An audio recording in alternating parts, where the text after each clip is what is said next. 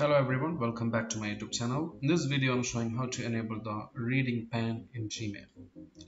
So you can see here once you log into your email, Gmail especially, you will see the inbox like this and all the emails you hear and to read the email completely you just need to click on the email and you need to read it so it's like um it's not like in outlook you know it's in outlook you will see it automatically the content on the right side of the email so in this video i'm gonna show how you can make it same like in outlook like adding a reading pane in uh, in the right side of um, your inbox.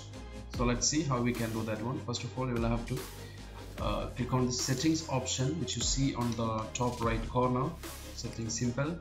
And when scrolling down below you will see here a couple of options now let's just go to the reading pane option. You can see here there is no split so that's why we are not able to see anything.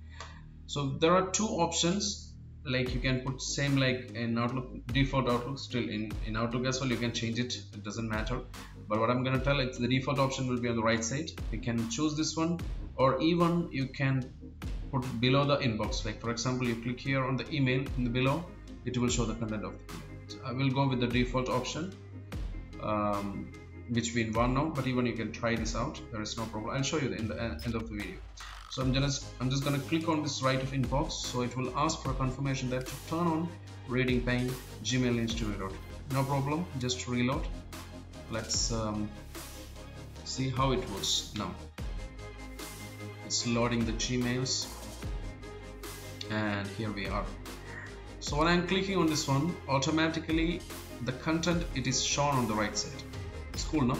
So even same like in Outlook. You can see here we can just uh, uh, read the email from the right side. So this is a cool feature. You can try try it out.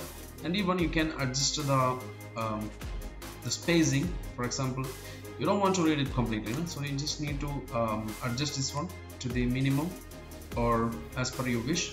Then you can uh, read the um, read the message. So that will be very helpful.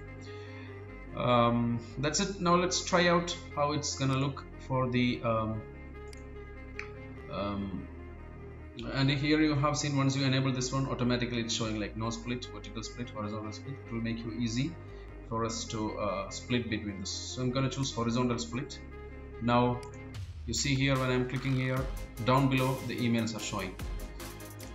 See here it's showing in the down below but I don't like this. For some reason I don't like this horizontal. I always prefer the vertical so I believe this video was helpful to you. Thank you for watching. Subscribe the channel click the bell icon for notification. Take care. Goodbye